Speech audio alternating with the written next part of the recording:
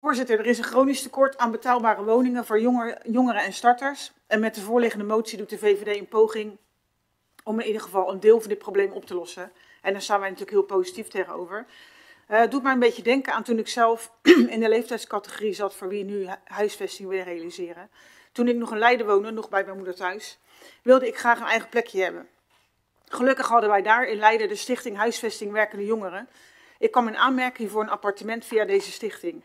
Dat is helemaal leuk, want als jongere wil je graag een plekje voor jezelf hebben. Het was geen grote plek, maar een eenkamerappartement van 24 vierkante meter, maar dat mocht de pret niet drukken. Wat was ik blij met mijn eigen plek. Heel goedkoop. Ik betaalde destijds 250 gulden per maand. Zeer goed op te brengen dus. Vergelijkbaar met de hedendaagse sociale huur. Op deze plek mocht ik maximaal 2,5 jaar blijven wonen, met de garantie dat ik binnen die 2,5 jaar een woning toegewezen zou krijgen van de reguliere woningbouwvereniging. Zo kon ik in de 2,5 jaar toch nog goed bijsparen, zodat ik een opstapje zou hebben naar een grotere woning.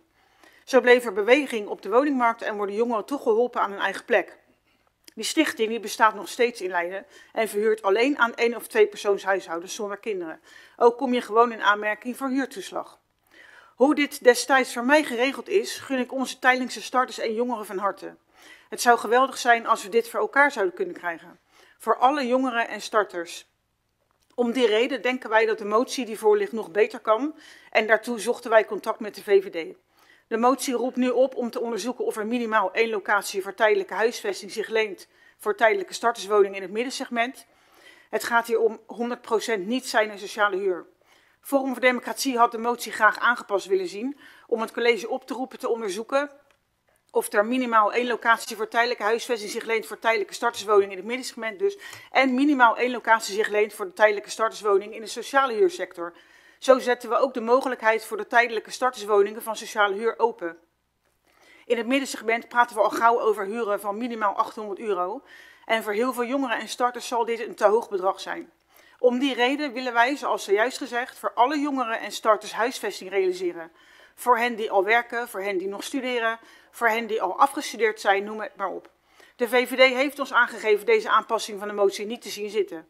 Om die reden wil de FVD graag een eigen motie indienen, puur gericht op sociale huur en dus beter betaalbare woningen.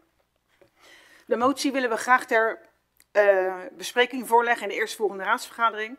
Tegelijk met de motie die nu voor ons ligt. De strekking blijft zo goed als hetzelfde, maar dan met sociale huur.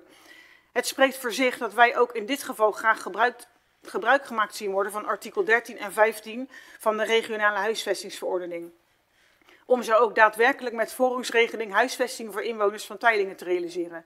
Iets wat ook de VVD-motie beoogt. Voorzitter, de realiteit is echter dat dit alleen kan voor sociale huur. Voor woningen in het middensegment kan geen gebruik gemaakt worden van de zojuist genoemde artikelen 13 en 15. Dit blijkt uit beantwoording van onze, op onze technische vragen. Het, uh, het betreft enkel sociale huurwoningen. Zo bestaat dus de mogelijkheid dat de VVD-motie straks wordt aangenomen en zelfs gerealiseerd, maar dat er vervolgens precies nul tijdelijkse woningzoekenden aan een huis kunnen komen. Om die reden ziet de FVD dus grote noodzaak om een eigen motie gericht op sociale huur in te zetten, omdat wij tijdlingers aan een woning willen helpen. Maar wij kunnen op andere locaties af en toe ons nek uitsteken en zeggen, daar willen we 100% sociaal. En dit zie ik dus als een mogelijkheid dat wij als raad ook onze nek uit kunnen steken om te zeggen, uh, maar er is ook een, een andere groep die heel hard aan het roepen is en dat is dat middenhuursegment. Um, dus daar hebben we ook die mogelijkheid om uh, aan te sluiten. Mevrouw Viel heeft een interruptie voor u. Ja, dank u wel. Uh, het project tijdelijk is voor andere doelgroepen als alleen, wij hebben het echt puur en alleen over jongeren en starters. En dat is er nog helemaal niet.